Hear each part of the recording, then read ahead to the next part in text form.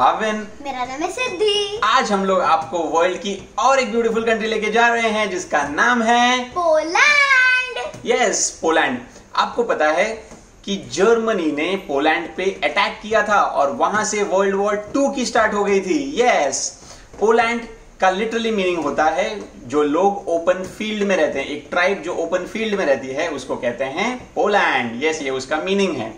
Poland बहुत तरीके से कॉम्प्लिकेटेड है। पोलैंड की हिस्ट्री अगर देखें तो बार बार आक्रमण हुए हैं पोलैंड पे। लगभग 40 टाइम्स अलग अलग लोगों ने अटैक किया है। और अंदरूनी विद्रोह के कारण, यानी पीपल के आपस की फाइटिंग के कारण, ये देश काफ़ी बार टूट चुका है पार्टीशन हो चुके हैं। इनफैक्ट एटीन सेंचुरी में ये कंट्री तो कंप्लीटली मैप से मिट गया था।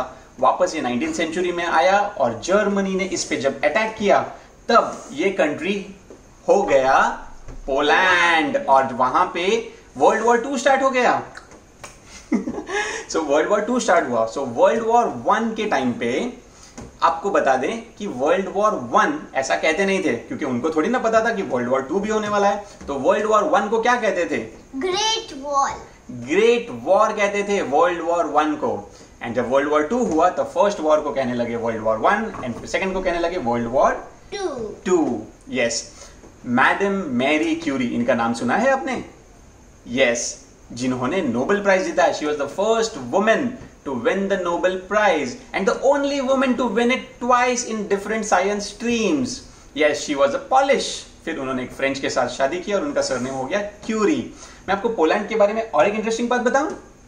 सो so, पोलैंड के जो लोग होते हैं उनका सरनेम जेंडर के हिसाब से चेंज होता है.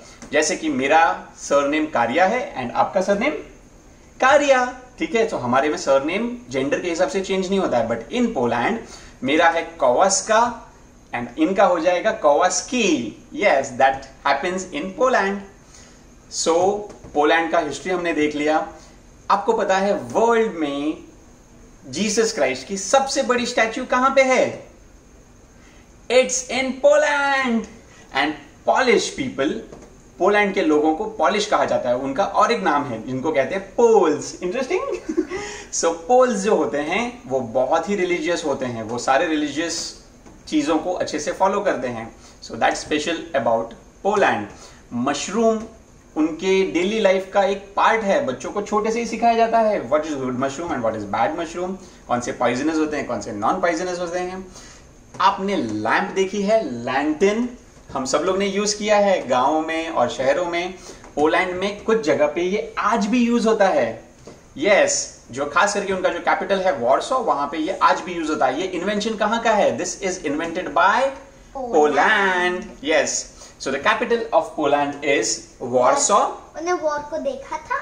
यस yes, उन्होंने दो दो वॉर को देखे world war one and world war two and the currency is Polish zloty is it salty very it is salty okay इसको ऐसे याद कर सकते हैं कि it is salty but it is not salty it is salty and the language they speak is Polish जैसे England की language है इंग्लिश और पोलैंड की लैंग्वेज है Polish yes and it is also said to be the world's difficult language to learn that's end from my side So today's question is which is the tallest statue in Poland? Bye.